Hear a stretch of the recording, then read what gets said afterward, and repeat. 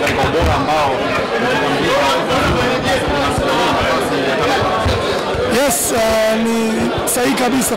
Tunaelekea huko kwa sababu tulikuwa hatuko huko na sasa kuna, kuna bonus. Unajua, mwanzo tulikuwa tunagombania ligi tu tukijua kuwa unapata kombe na ile pesa ambayo ilikuwepo ya udhamini, lakini sasa tunaelekea kwenye kwenye mia tano na baada ya misimu mitatu pia tutakwenda kwenye mia saba Kwa hiyo ni jambo kubwa ambalo lilikuwa lipo na sasa lipo litaleta ushindani zaidi kwenye, kwenye ligi yetu.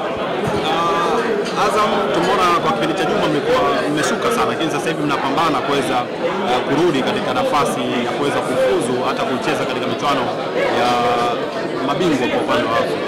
Zumuni yenu kwenye ubingwa bado lipo au mmekata tamaa?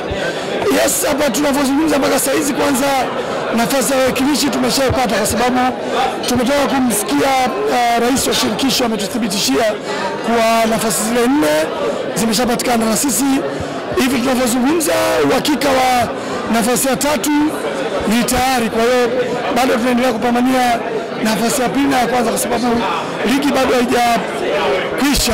Tunaendelea kupambana mpaka dakika ya mwisho ambapo tutaona kuwa sasa hivi hapa sasa ndio tumeishia mwisho. Kwa hiyo bado tunapambana mpaka dakika ya mwisho.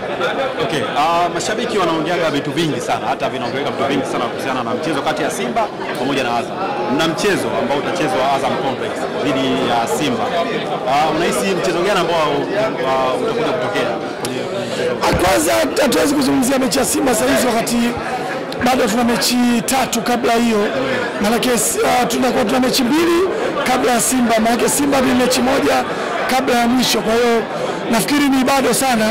Tunachokiangalia kesho, uh, tunaenda kucheza mechi yetu ya, no- ya robo fainali ya FA Cup nguvu zote ziko huko, tunaenda kupambana ili tuingie nusu fainali, na tukiweza kufanikiwa na labda Simba naye akifanikiwa kushinda nusu robo fainali, kwanza tunaweza kukutana na Simba kwenye nusu fainali. Sasa hatuwezi kujua kama tutakutana na Simba mwanzo kwenye nusu fainali ya FA au tutakutana naye kwenye mechi yetu ya ligi, lakini sisi mechi zote tunazi treat sawa kwa sawa, hiyo tunacheza na Simba na Yanga, aidha tukiwa tunacheza na biashara na timu yote, mechi zote ni sawa kwa sawa.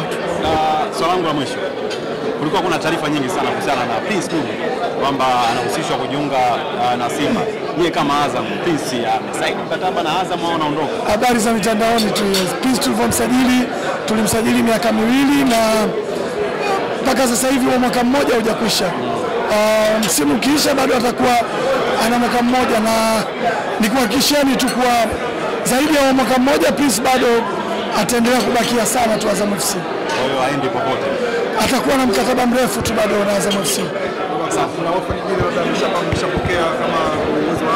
Officially hatujawahi kupokea ofa yoyote kwenye klabu yoyote ndani wala nje. Kwa hiyo zinakuja tu hizo tetesi tetesi tu zinazozungumzwa, lakini Prince Dube bado yupo sana sana sana sana Azam FC.